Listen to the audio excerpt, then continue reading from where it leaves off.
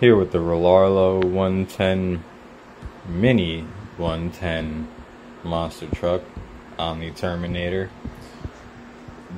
I've had the truck for two weeks now, so this is a bit of an update. Uh, going over issues that I found in my time running it and issues that uh, I'm gonna go over that I've seen other people have problems with. First and foremost, everybody knows about the shocks, the standoffs at this point. Uh, I've broken three standoff screws already. Same exact standoff, standoff screw. This one, right? However, my shock tower is bent. My rear shock tower is bent. It's a little bit hard to see, but it's this side right here that's bent forward. Okay, so that's that was kind of the mains of the issues. Seeing guys talking about out the box, they get all four wheels wobbling. Uh, I've heard people getting their truck and the diffs being installed wrong. Uh, as far as one being properly installed and then the other one being installed backwards to where this wheel is going this way and this wheel is going this way. It's not a center diff issue, it's an installation of the front and rear diff that was wrong. Another thing that I've seen, people have issues with their lights. I'm chucking that up to this switch right here. The hybrid has the hybrid switch, or it might be this one. I think it's this one. Stupid hybrid switch. Because all you have to do is press channel 5, your light should come on. There's guys that are saying that channel 5 is acting like a momentary switch and they have to use channel 6 and other little issues. Uh, I've seen broken hinge pin holders because they are actually just plastic caps. I, I turned the car on by accident. But yeah, they're just plastic caps at the end. Easy break. Uh, another issue. Wheelie bars, the wheels on the wheelie bar, you start riding on this thing, they bend. Still work, they just just not straight anymore. Major, major issue.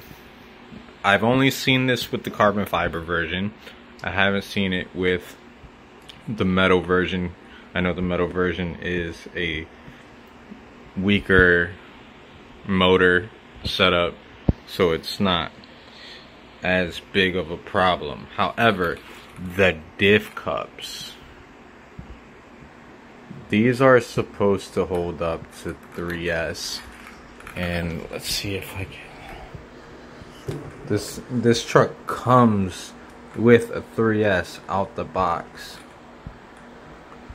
And see right there. That diff cup.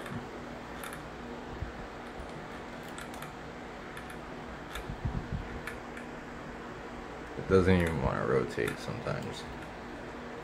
That diff cup is cooked.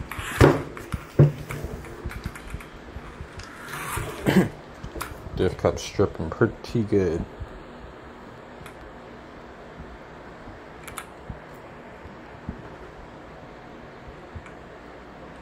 See all that play right there? All that play. That's the pin just rocking inside the cup because the cup's cracking. The material's coming out. I did the long full size lipo conversion also. Very easy to do. You unbolt this one and this one. It takes your ESC out. You lift your ESC out, you take it off the plate itself, you put it onto the center brace. The center brace has these little notches. The truck comes with two zip ties. You feed the zip ties through, you zip tie the ESC to the upper mount or the upper brace. Then you put the hooks, the longer straps, and this little battery stop thing back here. Super, super straightforward. What I don't like about it, you can see body mount and how it sits here. I adjusted the body mount to sit as high as it could go so that when the body sits, it's sitting more like that instead of further down because the ESC sat a little bit more in the cab area of the truck. Now, problem. How? Rlaarlo. Rlaarlo puts out a video explaining exactly how to do this installation.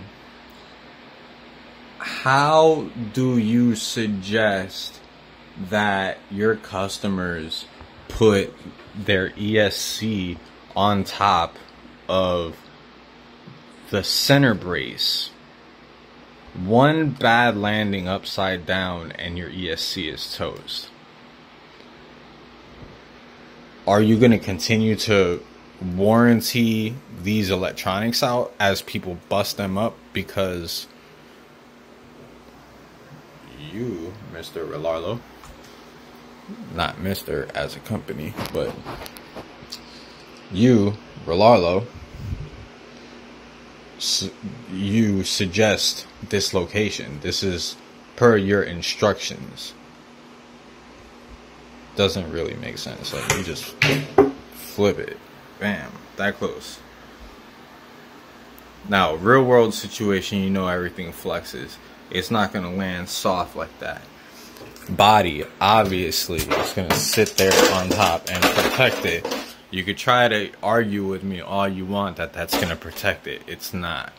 This is going to smash. You can see I have this the the cab's already been crushed. And this is pre pre battery swap. This was like this. Anyways, so, got everything all checked up. Oh, yeah. So, it, little dent in the wheel. No biggie. I feel like I'm missing a ton of stuff. But, I'm just going to send it from here. Go out, have fun on 2S. We'll be out there in a sec.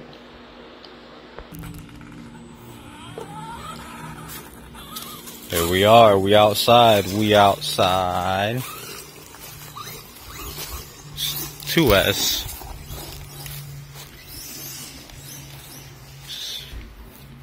A lot more manageable on 2S. Oh, a lot more manageable on 2S. Still fast.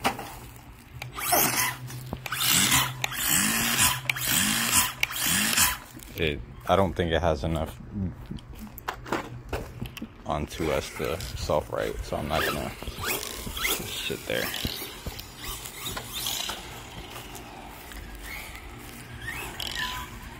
It'll still lift the wheels on 2S.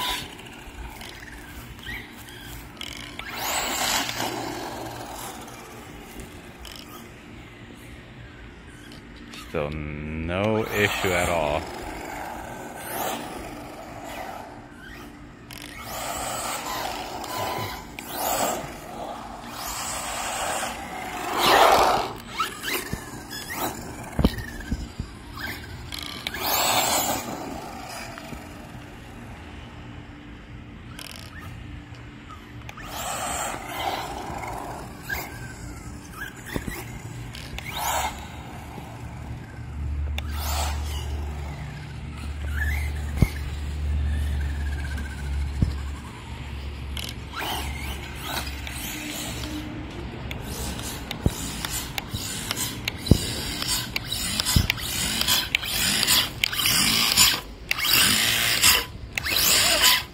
Almost actually flipped itself.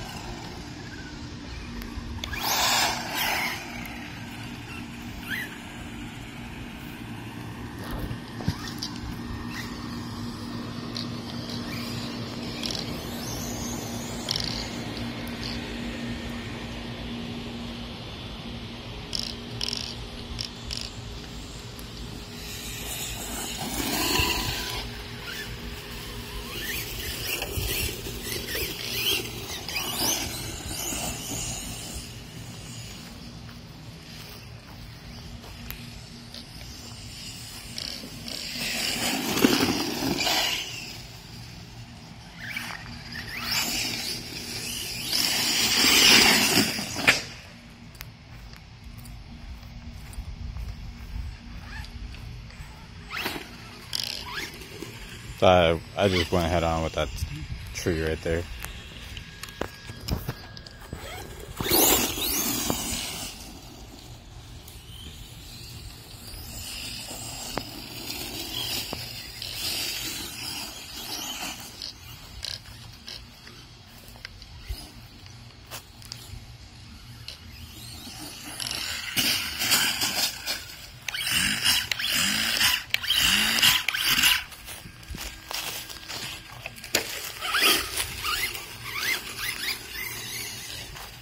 I got on today.